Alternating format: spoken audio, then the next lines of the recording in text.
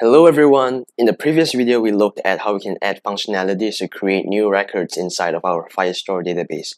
So I can hit new, I can say purple, I can give it a value, and you can see that purple is going to pop up right here, and then the ID is printed in the console. I can refresh the page, you can see it's loading and everything comes up because we are fetching the data from the database instead of hard coding it. Today in this video, we're going to talk about how we're going to add functionality to the edit links. So I have anchors here that say edit, but when I click on them, they do nothing right now.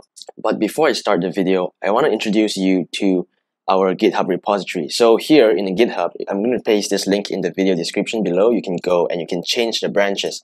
So let's say you want to look at the code for the second video in the series, which is add doc and set doc, right? So you can come here, you can change this to part two, and you can go to source and app.js and this will be the source code for that specific video. This is the playlist. The link will also be in the description. And with that out of the way, let's go and jump into the code. So I'm going to go into the code here and I'm going to see that there's actually a lot of code. This app.js file is starting to get cluttered up here. So I'm going to create a new uh, new file called util.js and I'm going to start copying and pasting things in. So previously we had handle new, which is what we're running when we click on the new button. So I'm just going to take this and move it over to utils.js. So I'll be importing some stuff here from Firestore. So I'm going to copy that as well.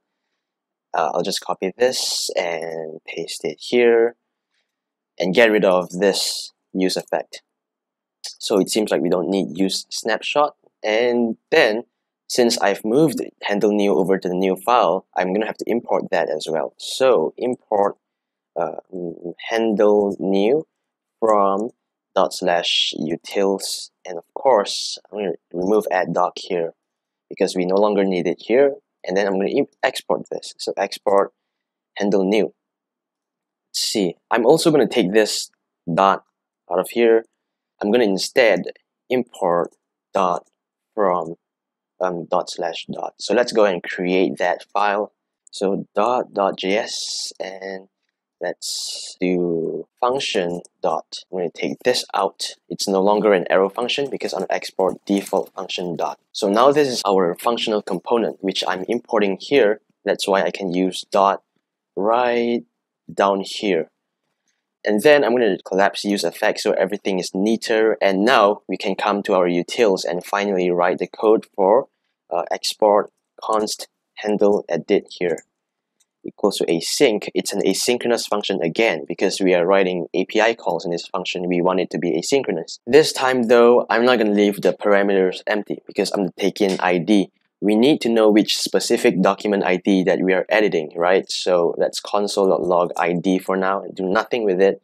And here, we're going to have to do on click on the anchor. You know, I can't just do handle edit like this because I'm taking in the ID here. So I have to wrap it in an arrow function like that. So this is somewhat different from our, our handle new function up there. We need to put this in an arrow function and take in uh, ID. So this is actually not called ID, it's called color.id because remember, we are in colors.map and we're taking each individual color. And the reason we have color.id here is because we, in our use effect, in set colors here, I'm setting both the document data and also the ID of that specific document. So in our colors React state variable in each object, we have the ID there that we can use. So if you didn't follow me and do this step in the previous videos, then you wouldn't be able to, you know, to edit this by the ID. So that's something to take note of. And then let's go back here and see everything should work. So now let's come and see there seems to be an error. Um, utils.js is not found. I see the issue here. The issue is I named this util.js. So I'm going to change this to utils.js and now this should work. So let me just click on any of the edit links here, darker green. And you see, that's the ID of darker green. I can click that multiple times. It's going to give me the same ID.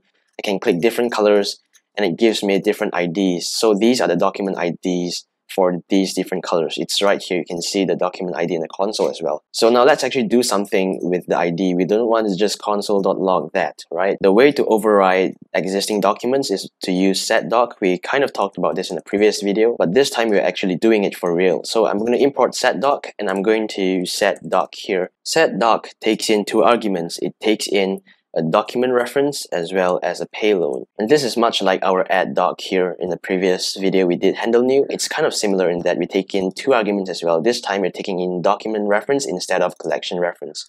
So let's make the document reference. So docref equals to doc. So previously we did collection, right? We did collection and db colors. So this time we're going to do doc and we have to import that here doc. And then it takes in, of course, just like collection, we take in the database handle, we take in the collection name. So I'm going to copy this down here. But for doc, we take in an extra argument here, and that is the document ID, which we're going to directly get from the handle edit function. We just have to make our payload.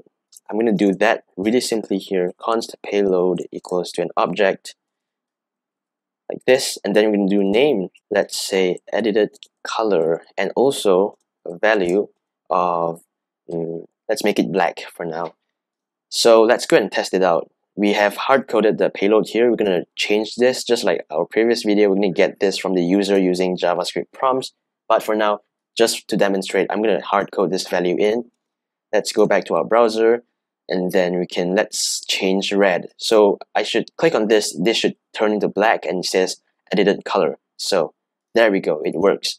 The only problem right now is this is a hard-coded value. So if I refresh this, you can see that that remains and it's persistent in the database, which is right here. You can see changed to black. But I don't want to hard-code this, so that's all we need to do. We need to change this. I'm going to copy this from the previous video, the handle new. Let's get it down here.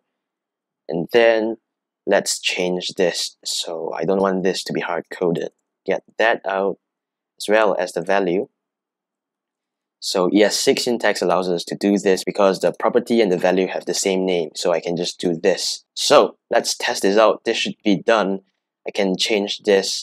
Let's look for a color here. Let's see, teal. So what I can do is I can type teal in here.